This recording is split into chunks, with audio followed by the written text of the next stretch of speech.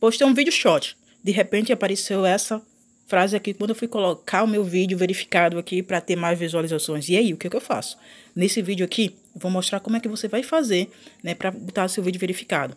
Essa mensagem dá medo, mas é um mecanismo do algoritmo para evitar fraude. Nesse vídeo, vídeo eu vou mostrar o passo a passo para vocês, fica até o final para vocês entenderem como funciona.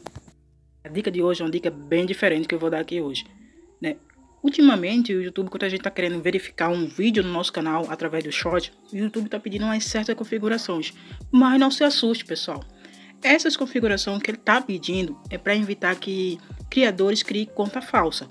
Porque existe muita fake news. E o YouTube está banindo esse tipo de coisa aqui dentro do, do, da plataforma. Né? Se vocês já não notaram, de vez em quando a gente vai ver um vídeo em qualquer outra conta, ele fala sobre o vídeo para a gente compartilhar, a gente vê mais sobre o conteúdo e por aí por diante. Então, se você for enviar um shot, como eu estou envi querendo enviar aqui, né, quis colocar um vídeo meu e ele pediu os seguintes dados, não tenha medo. É só você fazer esse passo a passo aqui que tudo vai dar certo. Pronto, esse shot que eu enviei aqui, eu vou clicar em editar e ele vai fazer isso aqui, ó. Quando a gente pedir para colocar um vídeo relacionado, ele vai pedir essa confirmação. Então vocês não ficam assustados em fazer essa confirmação.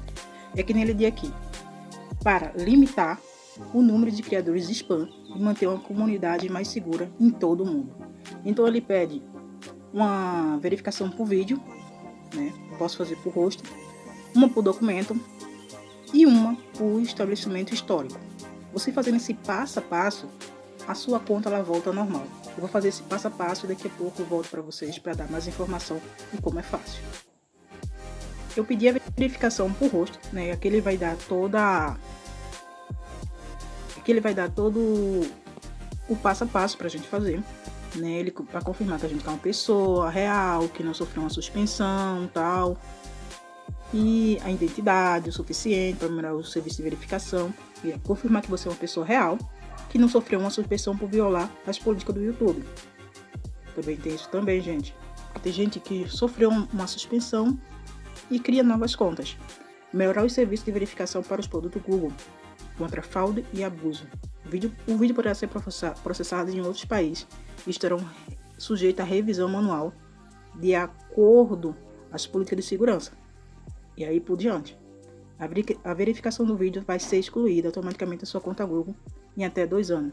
Geralmente ela é excluída em alguns meses depois de você acumular um histórico do canal suficiente após um ano, ou caso tenha usado os recursos avançados.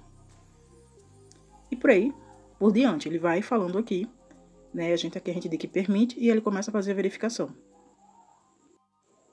Ah, mas eu não quero fazer por vídeo, eu quero fazer por identificação do documento. Você clica aqui, clica na próxima etapa, ele vai abrir e ele vai fazer uma explicação de novo, ó. Tá vendo aí que ele revelou minha, minha, data de nascimento. E aqui a gente vai clicando, né? Até chegar lá. Final. Eu não vou expor mais meus dados aqui, gente. Aqui já tá bom demais. Mas vamos deixar quieto, né? O porquê disso? Porque tá existindo muita conta de Google falsa. Muitas pessoas estão criando contas. Então o YouTube vai fazer uma verificação a mais junto com a Metas, né? E a gente vai crescendo mais. Isso vai proteger mais a gente, né? Já que a gente está em período eleitoral, né? E ele está orientando e ele quer um ambiente seguro dentro da própria plataforma. O outro passo, né, é estabelecer o histórico do canal, que é esse aqui.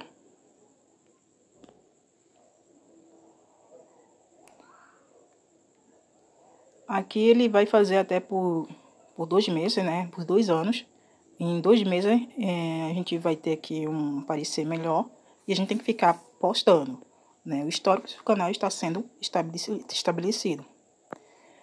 Para estabelecer o histórico do canal, continue enviando vídeo e transmissão ao vivo. Fora isso, é importante interagir com o público frequentemente. Se você quiser acessar recurso avançado e mais rápido, use a verificação por vídeo ou documento de identidade. Aí aqui você clica em entendi. Tá? Após você clicar em entender, você vai passar dois meses o YouTube avaliando né, o seu conteúdo aqui dentro do aqui dentro da plataforma.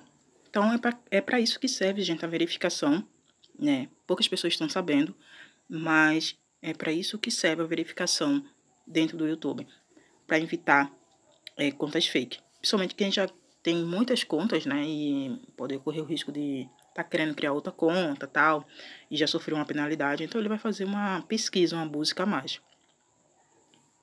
Tchau, vi. Tchau, pessoal. Esse foi o vídeo de hoje. Até o próximo.